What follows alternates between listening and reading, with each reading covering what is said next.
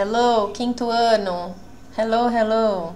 Eu vou explicar as questões da avaliação de inglês para aqueles que não puderam participar no Zoom, tá bom? Então, quando vocês abrem o formulário lá, primeiro tem o nome, name, tá? Vocês vão colocar o nome de vocês completo, please, porque é um documento, tá? Na questão 1, relate the countries.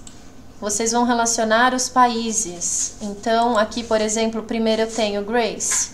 Aí vocês têm as bolinhas na frente para escolher que país é esse em português, tá? Então, Grace, aí vocês vão escolher a Itália, Brasil, Grécia, Canadá, Japão, Inglaterra, e assim vocês vão fazer com todos os outros: Japan, Brasil, England, Italy e Canada. Na questão 2, the person who, who was born in this country is a pessoa que nasceu neste país. Eu quero saber qual é a nationality, a nationality, a, nat a, nat a nacionalidade dela. A pessoa que nasceu neste país, onde eu, que eu coloquei a bandeira, é Brazilian, French, Spanish or American, tá? Vocês vão escolher uma questão só. Na 3, relate the countries with the, nationalities. Vocês vão relacionar os countries com os países com as nacionalidades. Então, por exemplo, aqui eu tenho Austrália. E aí vocês vão escolher quem nasceu na, na, na, neste país, Australian. Qual a nacionalidade? Italian, Chilean, Brazilian, Australian, British or Canadian. E assim vocês vão fazer com todos os outros. Chile, the United Kingdom, Brasil, Canada, Italy. No 4. Where is she from? Presta atenção de onde ela é. Eu usei she, tá? Ela. Presta atenção na imagem. A imagem que eu coloquei está indicando o país onde ela mora. Eiffel Tower é um ponto turístico neste país, tá? She's from Brazil. I'm from USA. He's from Italy. She's from France. They're from Canada.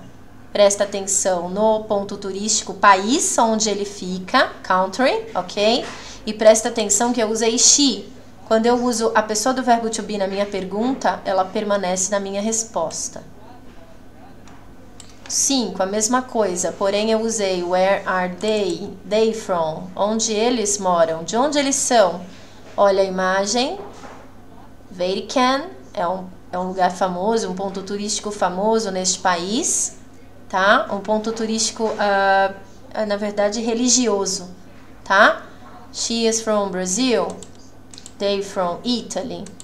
He's from Italy. They're from France. I'm from Canada. Eu usei they, tá? Presta atenção que a pessoa tem que permanecer na resposta. A pessoa do verbo to be.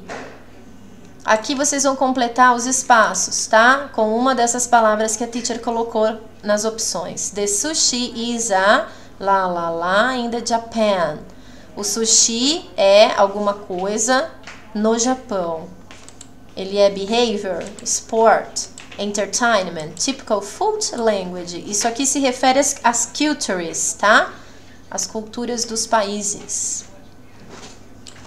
The, the Spanish dance a dança espanhola, Isa, lá, lá, lá, ainda é Spain. Ela é alguma coisa na Espanha. Eu estou falando da dança. A dança é o que? É, faz parte de behavior, sport, entertainment, typical food language?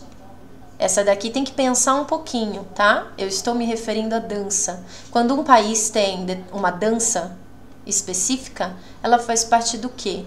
Tá? É um behavior? É um sport? É um entertainment? É o que? Tá? É isso que eu quero saber. Aqui, meus amores, this is the German lá, lá, lá. Eu estou falando de comunicação. Essa é a dica, tá? Esta, esta palavrinha se refere a behavior, sport, entertainment, typical food or language.